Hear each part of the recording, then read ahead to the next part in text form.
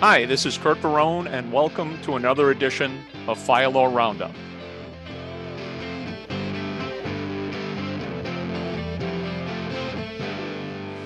All right, next one. Uh, hey, this one's right up your alley. We got an overtime case. All right. Yeah. You've yeah, been no. this case, right? The uh, Yeah. Encinitas. Yeah, it was, it was one of several um white collar overtime exemptions. And basically what that is is that's that complete overtime exemption that like typically a fire chief, maybe an assistant fire chief that works Monday through Friday squarely falls in. And it's an exemption from from any overtime pay.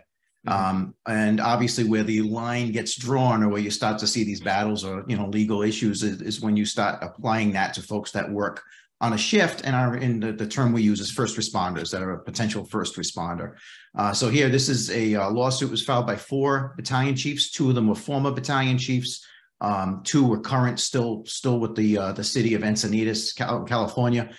They basically were treated as exempt employees, and the four of them and thought that that was wrong, so they they opted to, uh, to file the lawsuit. So in the end, it wasn't it wasn't a trial. They ended up settling it, um, as is very typical in these types of of cases, these types of situations. They settle it for it's one hundred and forty five thousand in damages, which um, as far as the settlement is concerned, it looks as if that's right around what they would have been owed If they were treated as overtime eligible. So it was no, no, um, no liquidated damages, you know, because that was kind of the claims where they were going to get around 140, 150,000 in, in back wages. And then typically under an FLSA action, there's that equal amount of damages that are applied. So it would have cost the city, in theory, if they lost at least 300,000 or right around that area before you begin paying attorneys and all sorts of stuff like that. So here, they agreed to the settlement, um, hundred and forty-five thousand plus another twenty-five thousand for the attorneys that represented the, uh, the battalion chiefs. And it looks as if, and it's not clear one hundred percent the,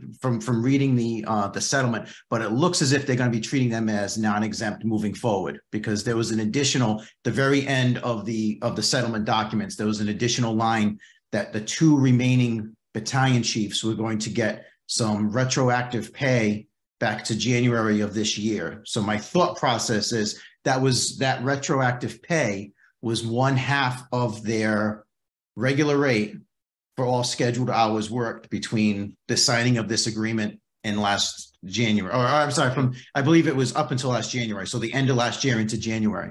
So what that led me to believe is it's not, it's not in the documents, but I think that they kind of made the, those folks non-exempt moving forward. Yeah, So- that was my guess, and I, I actually was looking around for any clarity on that. No, but I, I, didn't I couldn't see find it. Yeah, Yeah. so uh, and that that always remains a question because if the community settles the case, but then they don't change going forward, they're opening Mhm. themselves up to the same suit in a couple of years or maybe even sooner. And it's truly a lot, and, and a lot of, one of the things that they, the court examines in any FLSA settlement is whether there's a true dispute here. You know, whether there's a real, is this, is this a slam dunk? Are the employees correct here? Is the employer correct here? Is this a slam dunk? This is one of those where the, the settlements here are, are, are common and quite honestly should occur because it's, it is truly based upon the facts and it's truly, um, it, it could go either way. Yeah, yeah, I um I quoted extensively from the judge's decision so that folks could see how the judge is going to be looking at it. And you'll notice there, if you're not really tuned into what the judge is doing, the, the judge here is trying to show that there is a controversy. He's not trying to rule one way or the other. He's just trying to point out that there is a controversy. And so what you know, typically when we see a decision, the judge is saying, This is why I'm ruling in a certain way. Here, the judge is just pointing out both sides of the argument and saying, Yeah, there's a fair dispute here. Therefore, I have jurisdiction. I think both sides are reasonable. Therefore, the settlement is reasonable.